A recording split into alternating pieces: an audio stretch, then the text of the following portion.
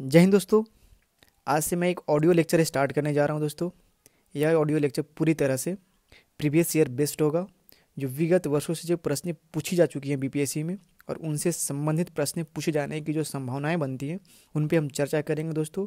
ये हमारा सेगमेंट का पहला ऑडियो लेक्चर होगा, जो प्राचीन भारत का इतिहास से होगा।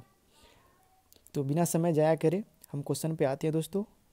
आज का पहला क्वेश्चन है, भारत में पशुपालन एवं कृषि के प्राचीनतम साक्ष्य कहाँ से प्राप्त हुए हैं? भारत में पशुपालन एवं कृषि का प्राचीनतम साक्ष्य कहाँ से प्राप्त हुए हैं दोस्तों? तो इसका सही जवाब होगा मेहरगढ़। मेहरगढ़ से प्राचीनतम साक्ष्य प्राप्त हुए दोस्तों। एक और इससे संबंधित फैक्ट दोस्तों जान लेते हैं। नवीनतम खोज के आधार पर भारतीय उपमहाद्वीप में प्राचीनतम कृषि साक्ष्य स्थल उत्तर प्रदेश के संत कबीरनगर ज़िले में स्थित लहुरा देव है। नेक्स्ट क्वेश्चन दोस्तों। हड़प्पा में मिट्टी के बर्तनों को सामान्यतः किस रंग से, किस रंग का उपयोग किया जाता था? हड़प्पा के मिट्टी के बर्तनों में सामान्यतः किस रंग का उपयोग किया जाता था? इसका सही जवाब होगा दोस्तों, लाल रंग। लाल रंग का प्रयोग किया जाता दोस्तों। नेक्स्ट क्वेश्चन है। सिंधु सभ्यता निम्नलिखित में से किस युग का कहा जाता है? सिंधु सभ्यता निम्नलिखित में से किस युग का कहा जाता है? इसका सही जवाब होगा दोस्तों आध ऐतिहासिक। दोस्तों आधि ऐतिहासिक से तात्पर्य है। आ, लिखन का कला का ज्ञान से पहले का जो कालखंड था लिखन के कला का ज्ञान से जो पहले का जो कालखंड था दोस्तों उसे प्रागैतिहासिक काल होता था। भारतीय इतिहास में पच्चीस सौ बीसी से लेकर छः सौ बीसी का जो कालखंड है आधि ऐतिहासिक माना गया है।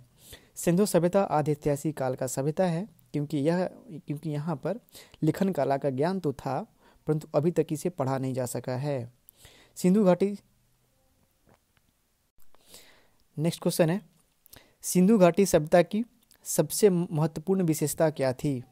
सिंधु घाटी सभ्यता की सबसे महत्वपूर्ण विशेषता क्या थी दोस्तों? तो इसकी पे इंसाइट राइट आंसर होगा। पकी हुई ईंट से बनी इमारत। पकी हुई ईंट से बनी इमारत। सिंधु घाटी सभ्यता की प्रमुख विशेषता नगर नियोजन को माना जाता है, जहाँ नगर और कस्बे एक निश्चित योजना के अनुसार बसाए गए थे। पक्की ईंट से बनी इमारतों में मोहन जोदड़ों का विशाल स्नानागार और आनागार प्रमुख है। नेक्स्ट क्वेश्चन निम्नलिखित में से कौन सा एक हड़प्पा का बंदरगाह है? निम्नलिखित में से कौन सा एक हड़प्पा का बंदरगाह है? तो सही जवाब इसका होगा दोस्तों, लोथल। हड़प्पा नगर लोथल गुजरात के अहमदाबाद ज़िले में भोगवा नदी के किनारे स्थित है। यह सर्वाधिक महत्वपूर्ण उपलब्धि इसका जो है, हड़प्पाकालीन बंदरगाह है। नेक्स्ट क्वेश्चन निम्नलिखित में से किस हड़प्पाकालीन स्थल को टेराकोटा का हल प्राप्त हुआ है? निम्नलिखित में से किस हड़प्पाकालीन स्थल से टेराकोटा का युद्ध पर हल प्राप्त हुआ है? इसका सही जवाब होगा दोस्तों, बनावली। बनावली से टेराकोटा का हल प्राप्त हुआ है दोस्तों। ये जो बनावली है आपका, हरियाणा के फतेहबाद जिला में स्थित है। निम्नलिखित में से कौन हड़प्पा और मोहनजोदड़ो के उत्खनन से संबंधित हैं? निम्नलिखित में से कौन हड़प्पा और मोहनजोदड़ो के उत्खनन से संबंधित हैं? तो दोस्तों, इसका सही जवाब होगा उन्नीस इक्कीस में 1921 में दयाराम साहनी ने पहली बार हड़प्पा सभ्यता का खोज किया था दोस्तों, और 1922 में रखाल दास बनर्जी ने मोहनजोदड़ो की खोज करी थी। नेक्स्ट क्वेश्चन दोस्तों प्रसिद्ध दस राजाओं के युद्ध किस नदी के तट पर लड़ा गया? प्रसिद्ध दस राजाओं का युद्ध किस नदी के तट पर लड़ा गया? सही जवाब इसका होगा, परुसनी नबी नदी। कुछ फैक्ट्स देख लेते हैं। दसराग युद्ध दस राजाओं का युद्ध था दोस्तों। परुसनी नदी जो वर्तमान में राबी नदी के तट पर लड़ा गया, जिसमें भरतू का राजा सुदास सुदास ने दस राजाओं को एक संघ को हराया था। नेक्स्ट क्वेश्चन ऋग्वेद में कौन सा मंडल पूर्णतः सोम को समर्पित है? ऋग मंडल में कौन सा मंडल पूर्णतः सोम को समर्पित है? इसका सही जवाब होगा दोस्तों, नवा मंडल। ऋग्वेद का, ऋग्वेद में कुल दस मंडल दोस्तों, दसवें मंडल में से नवा मंडल जो है सोम को समर्पित है। Next question. महावीर स्वामी का जन्म कहाँ हुआ था? महावीर स्वामी का जन्म कहाँ हुआ था? दोस्तों, इसका सही जवाब हो जाएगा कुंडल ग्राम महावीर स्वामी का जन्म पंद्रह सौ निन्यानवे ईसा पूर्व में वैशाली के निकट कुंडल ग्राम में हुआ था। उनके पिता सिद्धार्थ ज्ञात्रिक क्षत्रिय संघ के प्रधान थे। नेक्स्ट क्वेश्चन भगवान महावीर का प्रथम शिष्य कौन था? भगवान महावीर का प्रथम शिष्य कौन था? इसका सही जवाब होगा जमाली। जमाली महावीर स्वामी का प्रथम शिष्य था। दोस्तों, जो जमाली था इनकी जो शादी हुई थी, इनका शादी हुई थी यशोदा से, उनसे एक इन्हें पुत्री प्राप्त हुई थी। उस पुत्री का नाम था प्रियदर्शना। प्रियदर्शना की शादी जिस व्यक्ति से हुई थी, उस व्यक्ति का नाम था जमाली। यही जमाली जो था इनका, दमाद था और प्रथम शिष्य भी था। Next question. त्रिपिटक किसकी धार्मिक पुस्तक है? त्रिपिटक किसकी धार्मिक पुस्तक है? तो सही जवाब हो जाएगा बौद्ध धर्म। त्रिपिटक बौद्ध धर्म ग्रंथों में सर्वाधिक महत्वपूर्ण है। बुद्ध की मृत्यु के बाद उनकी शिक्षाओं को संकलित कर तीन भागों में बांटा गया। इन्हीं को त्रिपिटक कहा जाता है। इन त्रिपिटकों में से तीनों हैं। पहला है विनय पिटक, जो संघ के नियम तथा आचार की शिक्षाओं से संबंधित है। दूसरा है सुद पिटक, इसमें महात्मा बुद्ध के वचनों का संकलन किया गया है। नेक्स्ट है आपका अभिधाम पिटक, जो थर्ड वन है। अभिधाम पिटक, इसमें दार्शनिक सिद्धांतों का संकलन किया गया है। नेक्स्ट क्वेश्चन आजीवक संप्रदाय के संस्थापक कौन थे?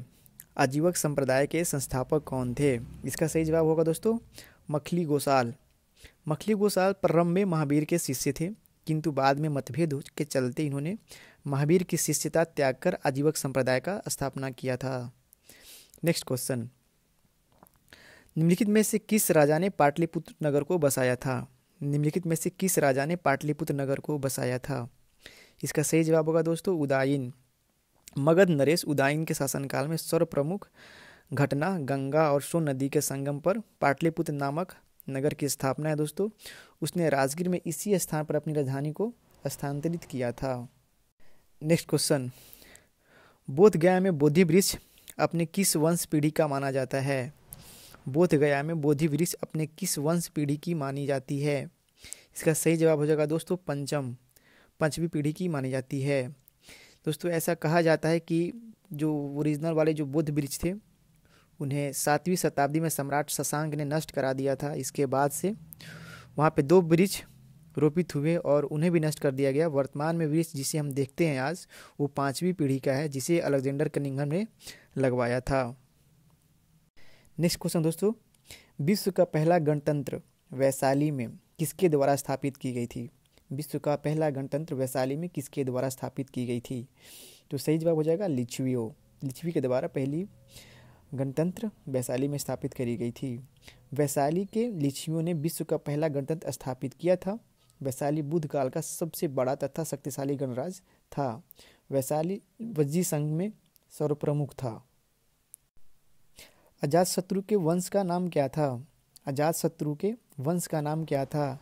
सही जवाब होगा इसका, दोस्तों। हयक वंश। मगध के शासक अजातशत्रु, अपने पिता एवं हयक वंश के संस्थापक बिंबसार की हत्या कर राजगद्दी पर बैठा था। इसकी हत्या भी उसके पुत्र उदयन ने कर दिया था। Next question. ब्राह्मी लिपि को सर्वप्रथम किसने पढ़ा? ब्राह्मी लिपि को सर्वप्रथम किसने पढ़ा? सही जवाब हो जाएगा इसका, जेम्स प्रिंसेप। सर्वप्रथम अठारह सौ सैंतीस ईसा ईस्वी में जेम्स प्रिंसेप नामक व्यक्ति ने अशोक के लेखों में ब्राह्म लिपि की पहचान करी, किंतु उन्हें उन्होंने लेखों को पढ़ने में सक्षम नहीं हो पाए नेक्स्ट क्वेश्चन मेगास्थिन की पुस्तक का नाम क्या है? मेगास्थिन की पुस्तक का नाम क्या है? सही जवाब होगा दोस्तों इसका, इंडिका।